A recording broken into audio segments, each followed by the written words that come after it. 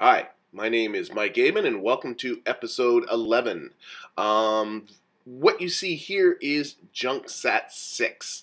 And if you recall from a couple of episode ago, a couple of episodes ago, excuse me, um, I had another satellite mission which was to attach a DP-10 antenna and reach certain orbital parameters. And uh, you may recall that I I lost said antenna when that antenna was connected to the ascent stage as opposed to um, the satellite itself. So that, that mission didn't work out. So here I am uh, trying it again. And uh, as I finish off my, my burn to reach the appropriate orbital parameters, although all those parameters go green, in the past with these types of missions, I've then got it, gotten a countdown uh, to the appropriate amount of time. And as you can see here, I don't get that countdown, and that that confused me for uh, for quite a bit. Um, and I thought, oh man, is, is somehow this thing just royally messed up. Um, and and so anyway, I, I, had nothing else to do. I just ended up leaving it and going it to some going to something else. And as soon as I did that, I ended up seeing that the contract did get fulfilled. I guess just somehow the timer just got messed up because this was my second try at this particular contract. I don't know. But anyway, I did get the contract on this one. But as you will see with this episode, this turns out to be an episode full of um, mistakes and mishaps. Some of them minor and some of them not so much. And here we are back at the Kerbal Space Center. And what I'm interested in doing is seeing if I have enough reputation to push my fundraising campaign up to uh, 50%. And I don't know about other people, but I can't make heads nor tails of that reputation gauge that's up at the top. I can't figure out what number that's trying to say my reputation is at. So the only thing I can figure to do is to pick one of these strategies that I'm not really that interested in and just move the gauge up until the, it tells me that I don't have enough reputation to go to that particular percentage. And then I know that, well, okay, my reputation must be a little bit less than that number. Uh, that seems a little bit annoying. There's got to be a better way to do it than that. But anyway, I did figure out that I do have enough reputation. So here I am. I'm going to upgrade the um, the administration building so that I can now uh, I can go up to 100 100% commitment on these, but I'm only going to go up to 75.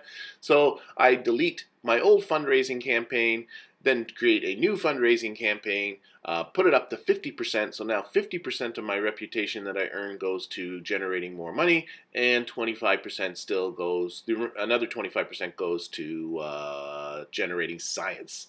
And then I'll see what to do with that last 25% uh, later on, depending upon my needs.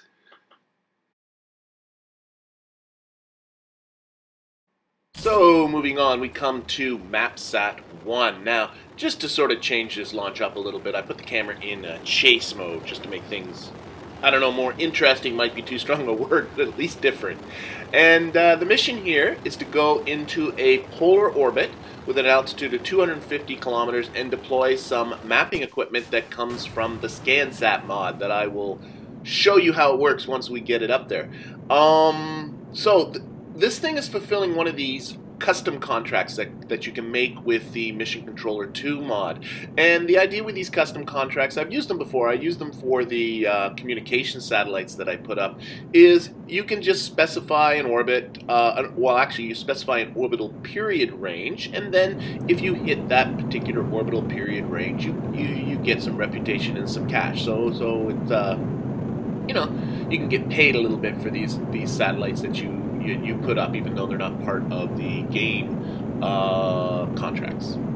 So here, I know I want a circular polar orbit with an altitude of 250 kilometers, and I worked out that at 250 kilometers, that gives me an orbital period of 44 minutes, or about 44 minutes. So I set the range to be between 46 and 42. Now, you might be, if you're looking over at the right there, between 46 and 42 might be your first hint that I did do something wrong here.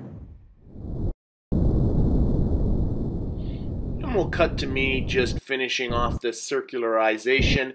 And according to engineer, of course, I do have the period that I need to have. It's in the range that I want, yet my orbital parameter for the contract is not going green. So yeah, something is wrong, but I decide, you know what, I'll, I'll wrap my head around this later. Why don't we take a look at the equipment that's on this satellite and get it deployed. So there are two pieces of equipment on this satellite. One is a multispectral analyzer or something like that, and the other is a radar altimeter, and both of them come from the ScanSat mod. So the spectral analyzer um, maps biomes for you. So you get this nice biome map that I will show you, and it becomes better, of course, as it maps around. And the um, radar altimeter is uh, uh, just gives you a uh, altitude map, a relief map. Uh, and both of these look really great as you deploy them. This one here is the radar altimeter now. And uh, yeah, they look really nice. And we'll go to the map view here which you can see takes a bit to render, but we'll just speed right past that.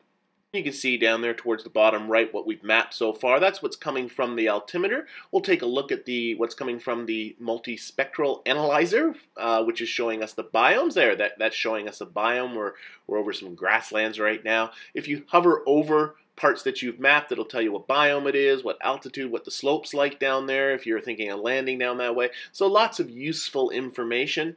Um, you can also see our projected orbit being shown there as well. And as the satellite maps around, it'll begin to fill it in. It also gives you some science. As, as you fill that in, you can go back here and you can get some science. Now, I was thrown a little bit because it also should be show, giving me a Karbonite view. I do have the Karbonite mod. I haven't talked about it yet, and I won't talk about it much now, but it gives you some resources for you to uh, to mine, but I didn't see the option to see Karbonite, and then I started to realize, you know what? I bet you uh, I didn't install the mod. I must have just missed it. And if I look back, that's exactly what did happen. I did end up missing that mod.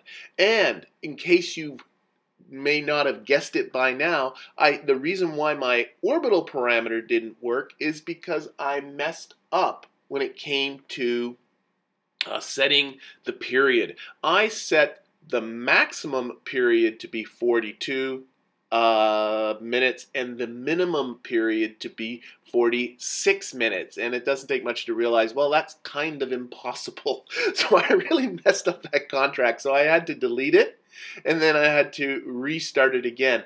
And, you know, actually, it's going to work out okay because the Karbonite has parts for scanning for Karbonite, which I should have realized weren't there and and noticed that uh, at that point that I hadn't had the mod installed. So uh, I'm gonna have to send up another one with the Karbonite detectors on there anyway, and that'll be in a future episode. And by then I'll have that contract worked out correctly. So in the end, it'll all work out.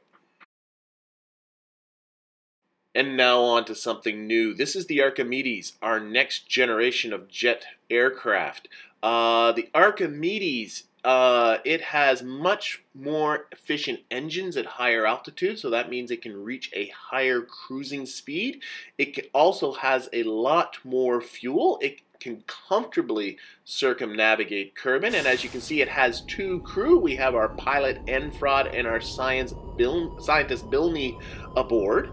Uh, but all that does come at an expense. This thing is uh, over three times the mass of the uh, of the uh, Aristarchus. So it takes a little bit longer to get going, but uh, it certainly does look good doing it. Look at those uh, those uh, thrusting effects coming from those engines. By the way, this uh, craft is mostly built out of B9 aerospace parts. There is a fair amount of overlap now between the B9 parts and the stock spaceplane parts. A lot of the parts uh, are, are, replicated. So I had to kind of make a decision which way to go to kind of save on my part count. And I decided to go with the B9. So I've deleted a lot of the stock spaceplane parts that end up kind of just replicating uh, what this thing does. Now, uh, why why did I do that? Well, number one, just look at this thing. I mean, it, it's it's freaking gorgeous. Look at the flames coming out of the uh, out of the engines and, and things like that. So, and, I, am also used to the B9 parts a little bit more. I've been I've, I've used them through a couple of campaigns, so I'm used to using them. Uh, number two is in the later stages of the game, B9 comes with some truly epic parts that uh, I definitely want to use that, that have no counterpart in the stock space plane parts. And number three, I mean, just take a look at this interior. This interior is gorgeous. I mean, we have a map being rendered there on the left thanks to ScanSat, which has now been up for a, a couple of days. Um, we got this great uh, flight display right smack there in the center. I'll bring up the resources over here on the right. We also can we have some external cameras. I not I don't I not only have the um, external camera that I mar that I uh, mounted on the bottom of the fuselage, but it also comes with uh, its own built-in cameras uh, that. Um, and you can aim the cameras around, which is something you can't do with the, with the, the other ones. Uh, and look at look at it's got that great abort big red abort button there, which obviously I will stay away from. We have our, our map view. We get we can switch it over to uh, to uh, take a look at the slope view or to the biome view, whichever sort of meets our fancy. We can zoom in on it a little bit as well, which is great. It also shows your trajectory as you fly around. Oh, I got to do a little bit of adjustments. It's nice that you can fly this whole thing um, just from the interior if you really wanted to. Do. There's nothing to stop you. In fact, there's quite a way, in some ways, more useful information looking at the inside than there is uh, looking at the outside. We got all our buttons here over to the side. You know, we can control everything. Uh, got this nice uh, interior cockpit light button. It's just nice touches, stuff like that. Over on the right, we have uh, buttons for all of our control groups, which of course don't work at all because I've yet to upgrade the spaceplane hangar enough to be able to use control groups. All in all, just a really gorgeous job. You can spend a lot of time just playing around in here. Okay, so Archimedes. Let's talk a little bit about Archimedes. Archimedes was a 3rd century BC mathematician, engineer. I don't know if you could call him a scientist, given the terms really didn't exist at that time. I guess probably the others didn't either, really, when you come to think of it. Um, you know, and, and really, there are about four sort of historical mathematician, scientist type people that just their their what they did and their personal stories and their personal struggles just intrigued me and Archimedes is absolutely one of them. Um, sorry, uh, maybe all you Euclid fans, but to me, Archimedes was the greatest of the of the Greek mathematicians. I mean, just his calculation of the number pi and how he did it. I would strongly encourage you to YouTube that. I'm not going to talk about it now, but his use of infinitesimals. I mean, it is within a hair's breadth of being calculus. He really is using the reasoning that people like Newton and Leibniz would be using, you know, almost two millennia later in order to to to work out the value for pi. Um, his work with conics, his works with uh, uh, exponentiation. Um, and, and not only that, he was a he was a brilliant engineer. I mean, he built things. His work with his with hydrostatics, you know, that's where he got that eureka moment. He's the guy with the eureka story, running out of his bathtub after uh, after uh, uh, discovering the principle of buoyancy uh, with levers and pulleys and pumps. He built all kinds of machines. I mean, I, I don't think you can overstate the brilliance of this particular man. And, and the story he's probably the most remembered for is the story around his death. Um, he was from Syracuse and he was heavily involved in the siege of Syracuse by the Romans and uh, the stories um, of the machines that he built to hold off the Romans uh, were beyond, you know, almost beyond belief. Well, some of them are beyond belief. The, the, the famous story of him uh, using parabolic reflectors to to uh, set, you know, use the sun's energy to burn Roman ships. That that that almost for sure couldn't happen because it just it just people have tried to do it. It just doesn't work. It doesn't really make sense. And those stories didn't start till a few centuries after his death, so they're, they're almost for sure made up. But some of his other stories, his catapults, his his um, his, his other machines of war, the stories of using giant levers with hooks on them to upend Roman ships, uh, those are far more credible and just about as amazing. Um, his death, there's a number of stories around his death. The most most often told one is that the uh, he, there were orders not to have him killed, but a ignorant Roman soldier found him not knowing who he was, and Archimedes was so obsessed with his work that he told the soldier off and all, all uh, for all intents and purposes, and the soldier killed him for it. Um, what actually happened, of course, is, is lost in time, but that is a great story. Well, on to the mission then. Okay, the, the mission's the usual. I got a couple of them, and a couple of contracts here, and the, the missions are the, the, the, usual assortment of, you know, uh, altitude, temperature, and pressure scans, and crew reports, and some on the surface. So here what we're doing is we're heading in um, towards one of those surface uh, scans that I got to do, and I, I have to be exceedingly careful. Um, again, as I mentioned, this this craft is is three more than three times heavier than Aristarchus, so it, it, it's going to hit the ground, you know, with a little bit more force than that one does. It's also not quite up to what I like yet. I don't I don't have the really good control surfaces that come with B9 unlocked yet, so I have the stock control surfaces, especially the ailerons on the wings. Um, they're the little ones. They're they're almost hidden completely in the in the wing texture, so those aren't quite working right. I also have the stock landing gear.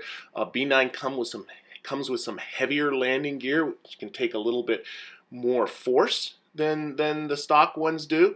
So I'm I'm going to be exceedingly careful. And in fact, here I am. I'm coming into a one particular spot that I was thinking of landing at, and uh, I'm starting to realize no, no, the ground is is uh, coming up too quickly up ahead. So so I aborted on that one, turned around a little bit, picking another spot that looks reasonably flat but as careful as I am, I'm just not careful enough. And when I touch the ground, that right uh, starboard landing gear, it just it just buckles under the force. And yeah, this is over pretty quick.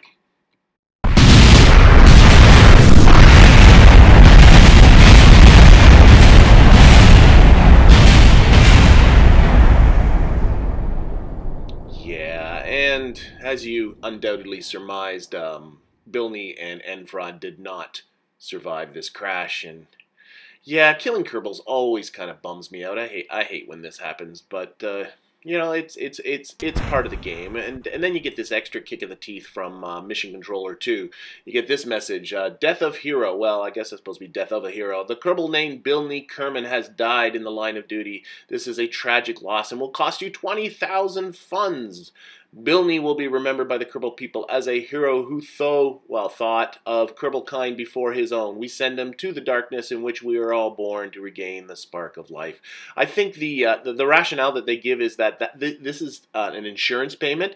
Um, I kind of like to think that they're paying off the press myself, but uh, that's just me.